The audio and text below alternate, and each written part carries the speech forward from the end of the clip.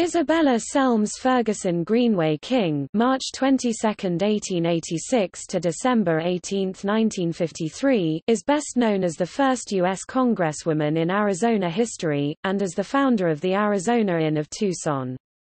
During her life she was also noted as a one-time owner and operator of Los Angeles, California-based Gilpin Airlines, a speaker at the 1932 Democratic National Convention, and a bridesmaid at the wedding of Eleanor and Franklin D. Roosevelt.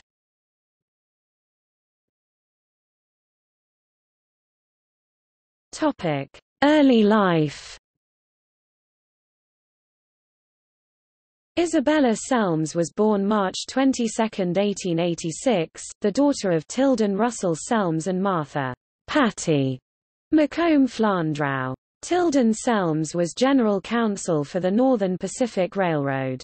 Patty Flandrau was the daughter of Charles Eugene Flandrau, a Minnesota judge and politician. It was at the farm of Patty's maternal aunt Julia Stockton Dinsmore in Kentucky that Isabella was born. The Selmes family owned a ranch in the Dakota Territory that was close to Teddy Roosevelt's ranch and they developed a close friendship with each other.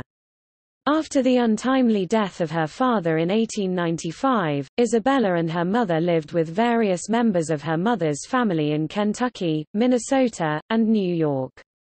Isabella attended Miss Chapin's school in New York City, where she met and became lifelong friends with Roosevelt's niece, Eleanor.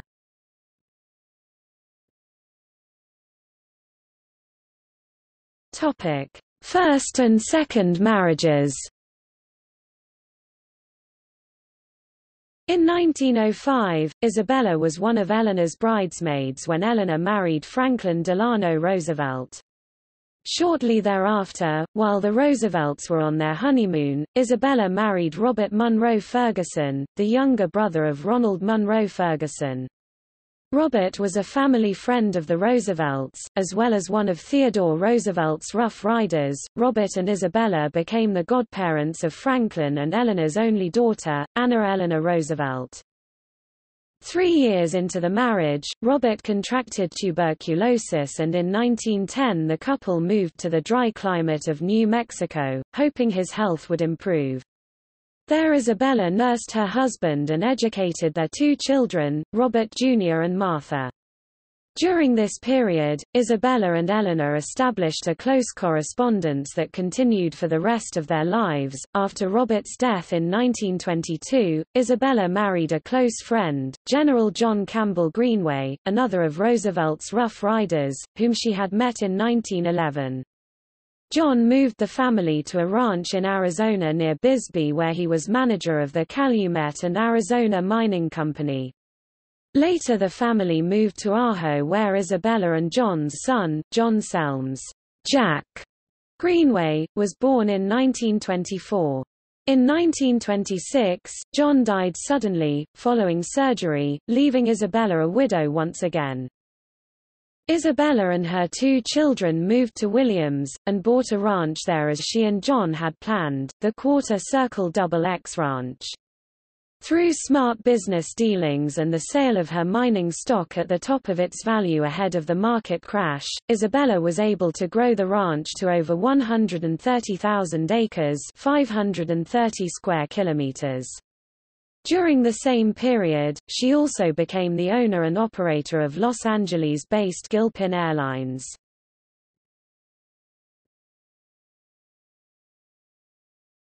Topic: Activism and politics. Isabella's political interests and social activism paralleled the interests of her friend Eleanor. During the First World War she developed and directed a network of Southwest women who farmed while the men were overseas. During the late 1920s she opened Arizona Hut, a furniture factory employing disabled veterans and their immediate families. In 1928 she became Arizona's Democratic National Committee woman, and in 1932 she campaigned heavily for Franklin Roosevelt. She made one of the speeches seconding his nomination at the 1932 Democratic National Convention. Greenway, a Democrat, was elected as Arizona's sole representative to the 73rd Congress in 1932 to complete the unexpired term of resigning Representative Lewis W. Douglas, who had been appointed the U.S. Director of the Budget. She won re-election in 1934. On her 50th birthday she announced that she was retiring from public office. There was some expectation that had she run in the 1936 election, she would have been unopposed in both the primary and general elections. Though she broadly supported New Deal legislation during her terms in Congress, she demonstrated her political independence by breaking with the president over some issues of concern to veterans, an important part of her political base in Arizona.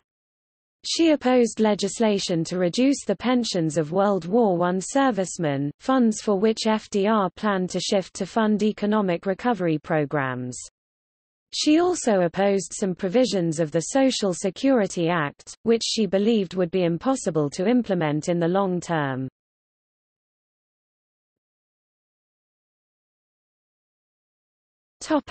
Later life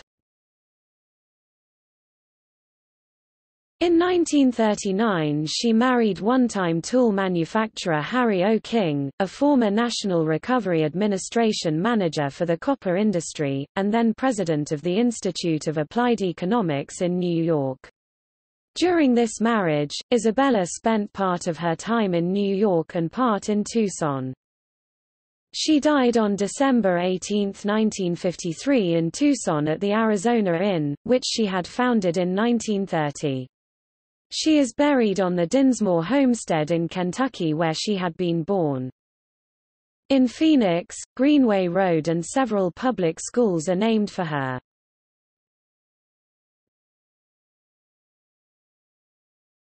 Topic. See also Women in the United States House of Representatives